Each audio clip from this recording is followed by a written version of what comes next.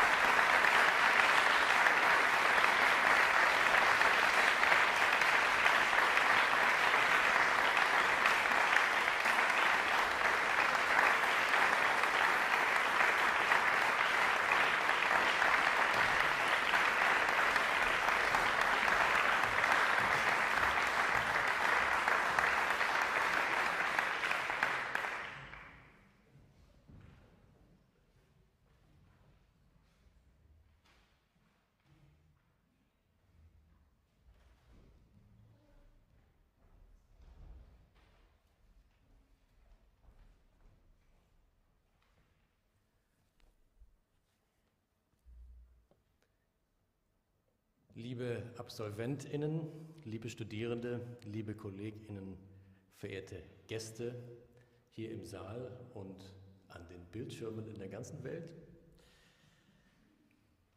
Ein besonderes Jahr mit besonderen Herausforderungen liegt hinter uns und ich war doch sehr erfreut zu beobachten, wie Sie, die Studierenden unserer Hochschule, sich nicht haben unterkriegen lassen, sondern diesen Herausforderungen beherzt, wenn auch sicherlich nicht immer unbeschwert, mit notwendigem Pragmatismus und Flexibilität begegnet sind.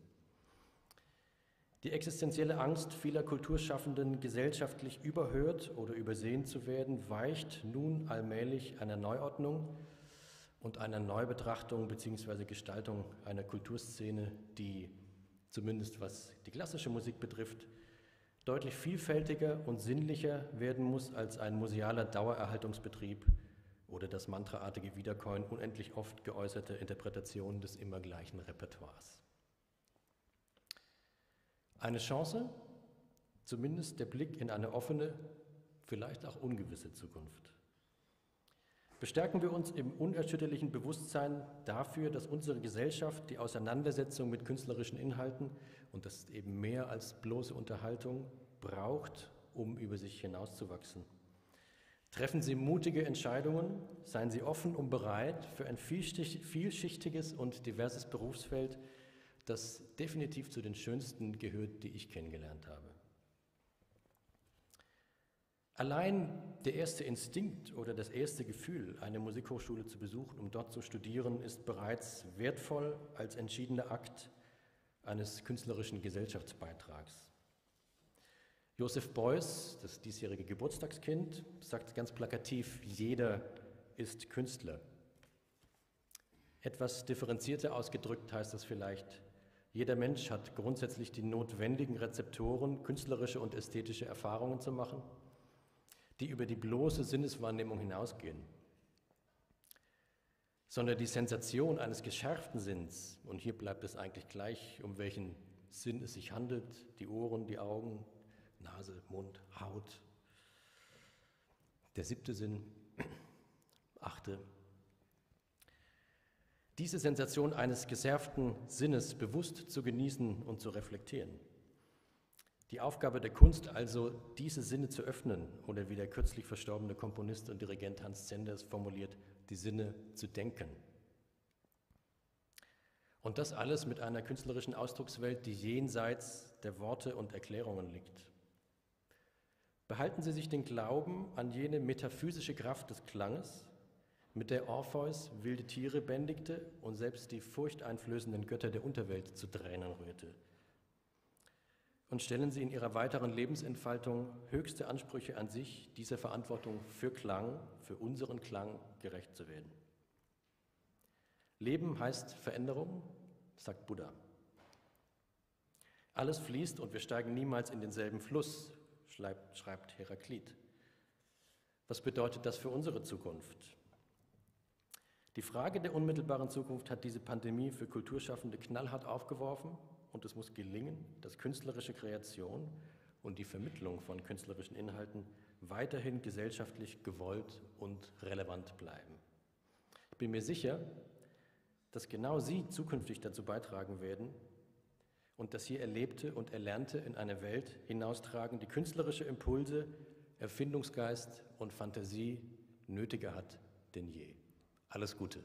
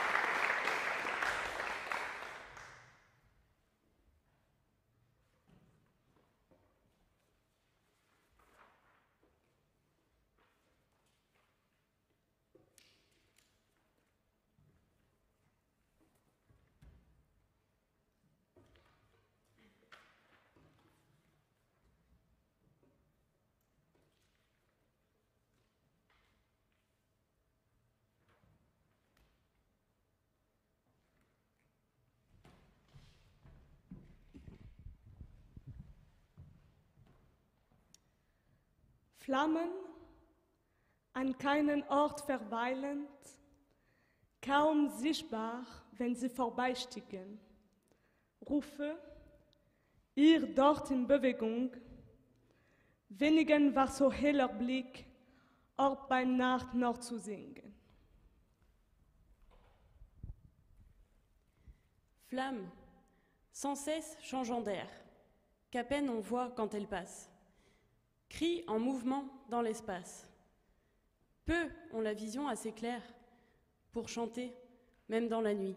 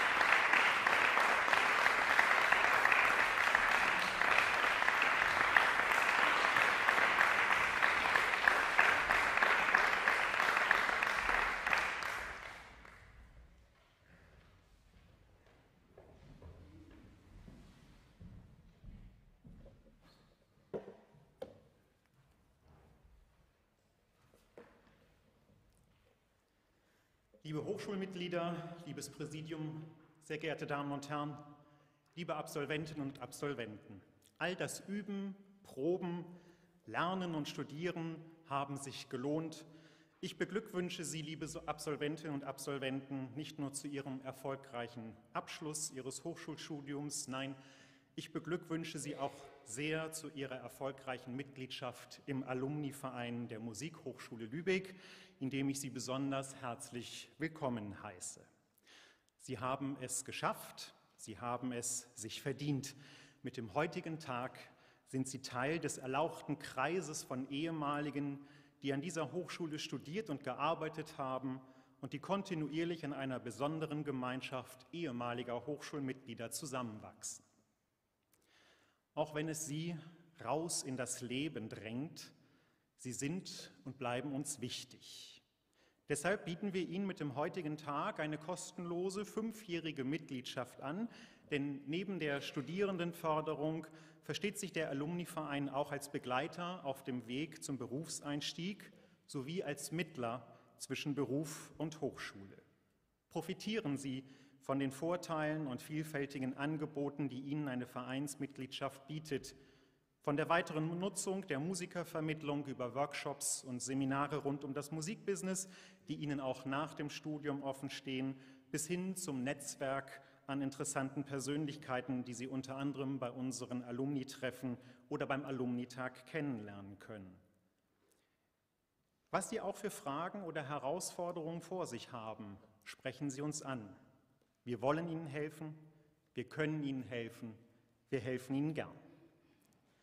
Gleichzeitig lebt der Verein von dem Engagement und der Vielfalt und der Vielzahl seiner Mitglieder.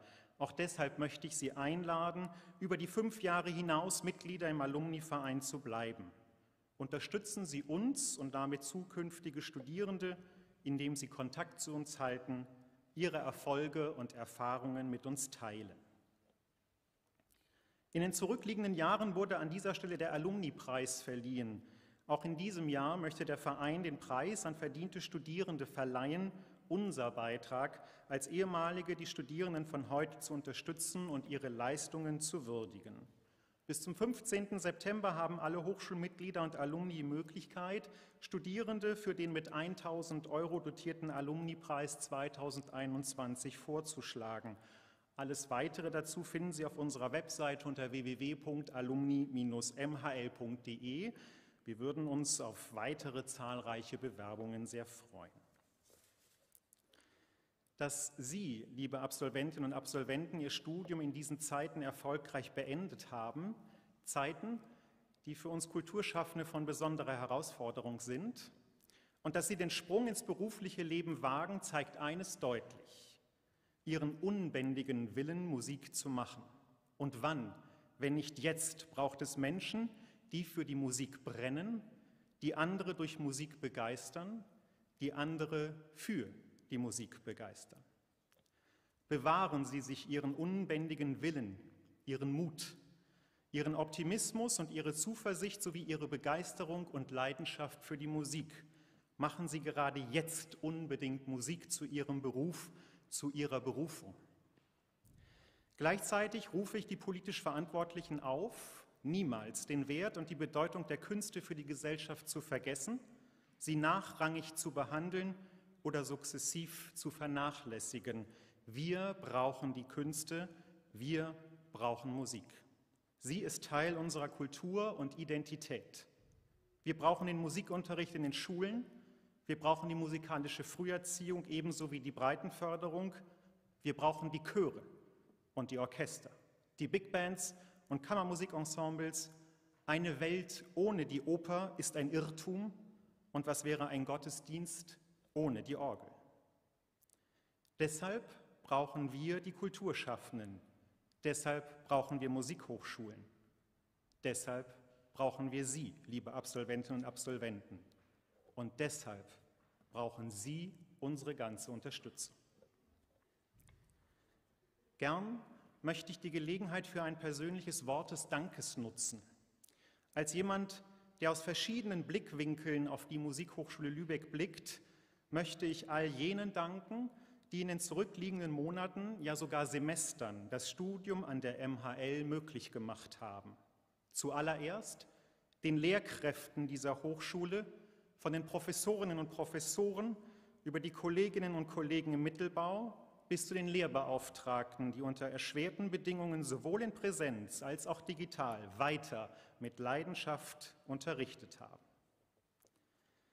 Ein besonders großer Dank geht an die Kolleginnen und Kollegen unserer Verwaltung, vom Studiensekretariat über das Büro für Internationales, die Bibliothek, die allgemeine Verwaltung und das Gebäudemanagement, das Brahms-Institut, die Stabsstellen des Präsidiums, der IT-Support, das Tonstudio bis hin zum Haus der Kommunikation mit seinen Sachgebieten KBB, Pressestelle und Marketing sowie unsere Pförtnerinnen und Pförtner. Sie alle haben es erst möglich gemacht, dass der Studienbetrieb an der Hochschule aufrechterhalten werden konnte. Ein außerordentliches Dankeschön gebührt dem Präsidium. Die ununterbrochene informative Kommunikation von Beginn an, das vorausschauende und umsichtige Handeln und Führen, oftmals ja auch nur auf Sicht fahrend, dabei stets lösungsorientiert und davon geleitet, zu jeder Zeit, auch unter erschwerten Bedingungen, ein inspirierendes künstlerisches, pädagogisches und wissenschaftliches Studium an der MHL zu ermöglichen.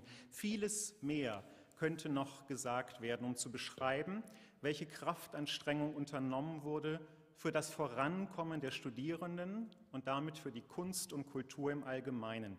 All dies zeichnet das Präsidium und in besonders hervorragender Weise unseren Präsidenten Professor Rico Gubler an der Spitze aus und dafür einen ganz besonders herzlichen Dank.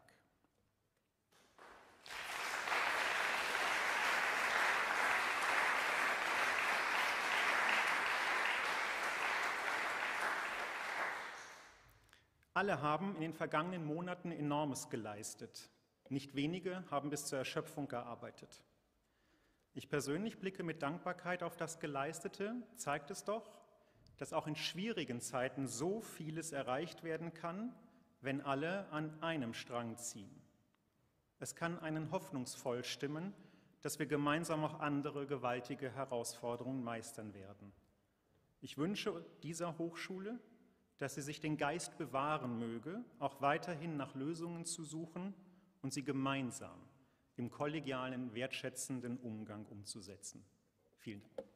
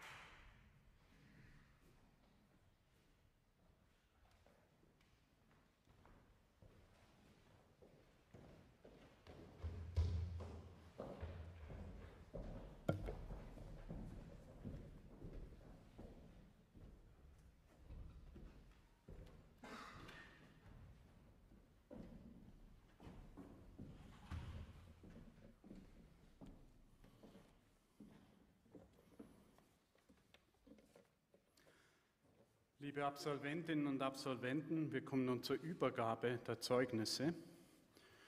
Die Hauptsache, der wichtigste Teil am heutigen Abend. Viele haben sich schon aufgemacht, mussten sich schon aufmachen in die weite Welt raus aus Lübeck. Viele Studierende können nun das erste Mal, manchmal seit fast zwei Jahren, wieder nach Hause fahren. Andere können Meisterkurse der Projekte nachholen, die im letzten Jahr nicht durchgeführt werden konnten. Wir werden trotzdem alle aufrufen, damit Sie einen Eindruck erhalten, wer und in welchen Fächern in diesem Sommersemester 2021 sein oder ihr Studium an der MHL abgeschlossen bzw. seine letzten Studienleistungen erfüllt hat. Es sind insgesamt 61 Absolventinnen und Absolventen, wenn ich richtig gezählt habe.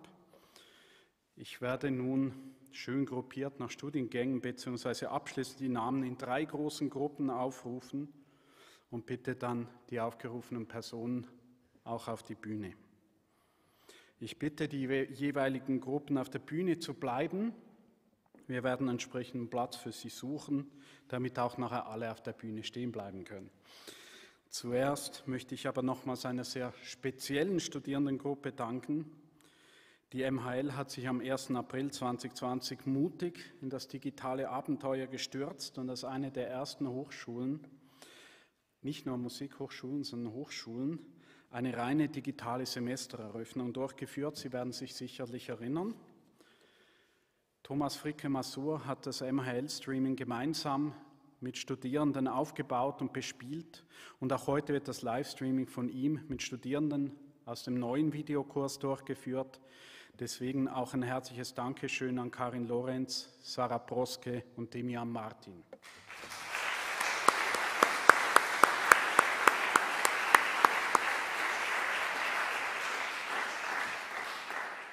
Bevor ich nun die Namen aufrufen werde und wir uns dann musikalisch danach mit Improvisationen für Klavier, Orgel und Schlagzeug aus dem Sommersemester 2021 verabschieden, möchte auch ich mich bei der gesamten Hochschule bedanken, mit welchem Einsatz, welcher Geduld und Ruhe wir auch dieses dritte Corona-Semester bewältigt haben. Das ist Agieren auf hohem Niveau und außerhalb jeden Normalzustandes. Und ich bin stolz, dass diese Hochschule meiner Meinung nach das Bestmögliche aus dieser Situation gemacht hat. Und das ginge nicht ohne Sie, liebe Hochschulmitglieder. Herzlichen Dank.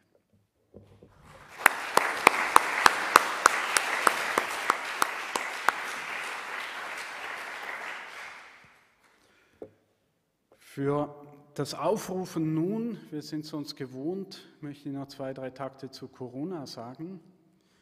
Äh, ich bitte Sie alle mit dem üblichen Utensil auf die Bühne zu kommen. Wir werden dann hier eine äh, Übergabe der Dokumente machen. Wir haben sie nicht vorher desinfiziert, dann werden sie nämlich kaputt. Und äh, ich bitte nachher alle hier auf der Bühne zu bleiben. Sie wissen unterdessen im Traum, im Schlaf unter der Dusche, was 1,5 Meter sind. Wenn Sie einen Platz eingenommen haben, diese 1,5 Meter haben, dann können Sie die Maske ausziehen. Ist ein bisschen hübscher für alle. Und ich bin, beginne nun mit den Absolventinnen Absolventen des Bachelor of Arts. Den Bachelor of Arts haben abgeschlossen in diesem Sommersemester Frau Sophie Gorves mit Hauptfach Gesang, Herr Hilko Engberts mit Hauptfach Gesang, Herr Anton Kreber auch mit Hauptfach Gesang, Frau Friederike Janke, ich hoffe auch mit Hauptfach, da ist ja wahnsinnig viel Gesang hier, Frau Veronika Kuhl, hier steht auch Hauptfach Gesang, Frau Sandra Becker, Hauptfach, Hauptfach Klavier, Frau Alina Franziska Johanne Henning, Hauptfach Posaune, kein Gesang, und dann möchte ich noch die zwei Studierenden Absolventen, den Absolventen für den Master of Education, Herr Maximilian Busch, Hauptfach Klavier und Frau Elisabeth Strake, mir Hauptfach Trompete auf die Bühne bitten. Möge kommen, wer hier ist.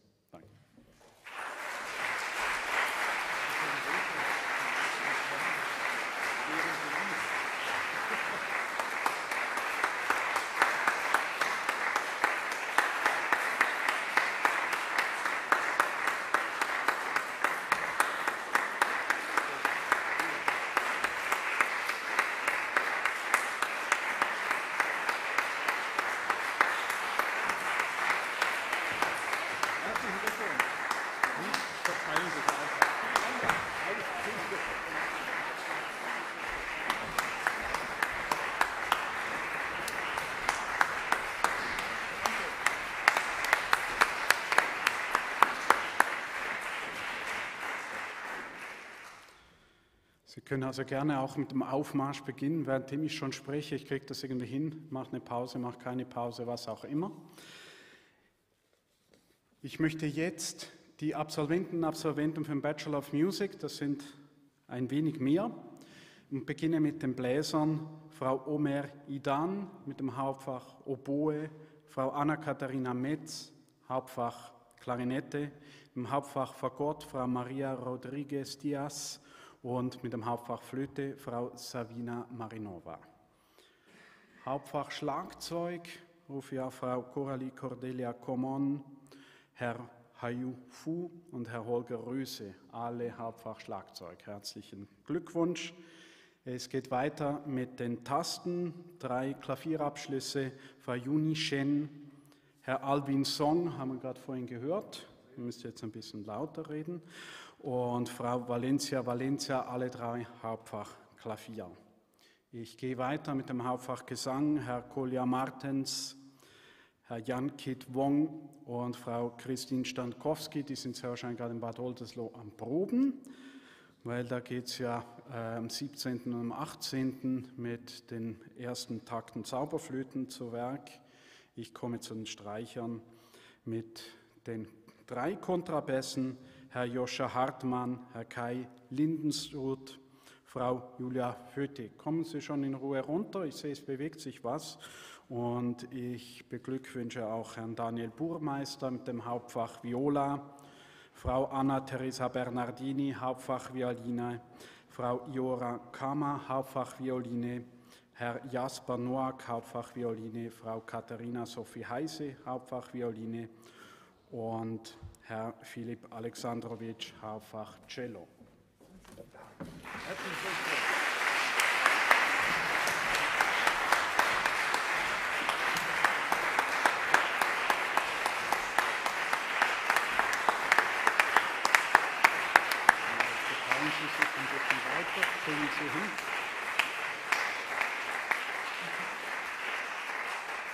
Sehr schön. Ich bin noch nicht ganz fertig mit dem Bachelor. Es fehlen noch zwei in meiner Buchhaltung hier. Eine sitzt hier. Äh, nee, sitzt nicht hier, Entschuldigung, falsche Harfe. Frau Swantje Wittenhagen, auch eine Harfe. genau, in zwei, in zwei Zeilen verfehlt. Herzlichen Glückwunsch und Herr Elias Antonia Bello Caricote im Hauptfach Komposition.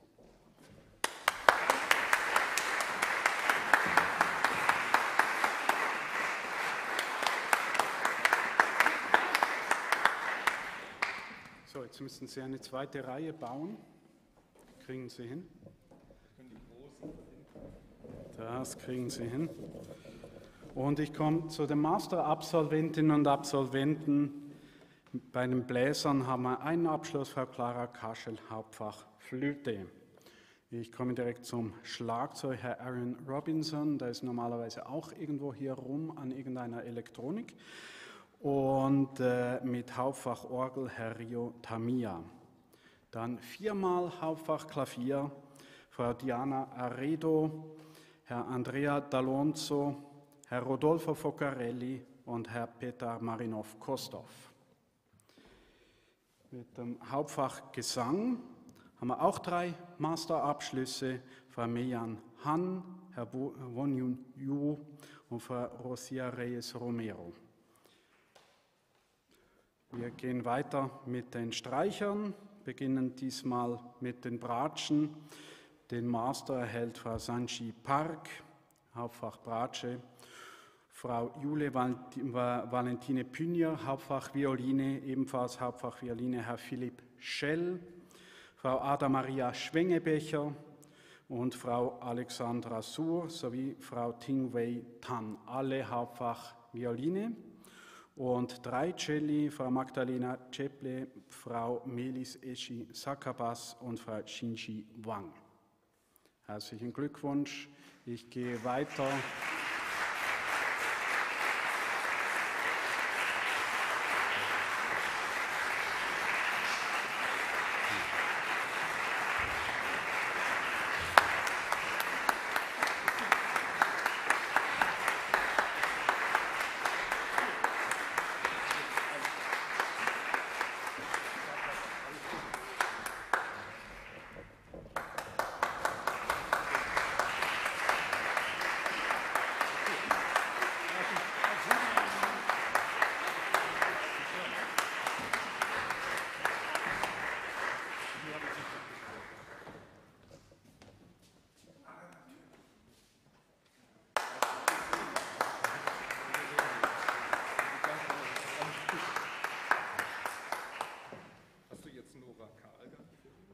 Nee, habe ich nicht. Soll ich? Gut. Nee, ich bin absolut richtig in der Reihenfolge. Alles korrekt. Ich will mich einfach einer durcheinander bringen. Ich gehe weiter mit der Kirchenmusik. Kirchenmusik A, Herr Thilo Thülmann mit dem Hauptfach Orgel und Master of Music Musikpädagogik. Genau, so ist es. Frau Luise Sorge, Hauptfach Gesang, die vermisste Frau Nora Elisa Karl, Hauptfach Harfe und Frau Svenja Lippert, Hauptfach Violine, Frau Sina Lützenkirchen, Hauptfach Violoncello. Jetzt dürfen Sie auf die Bühne kommen.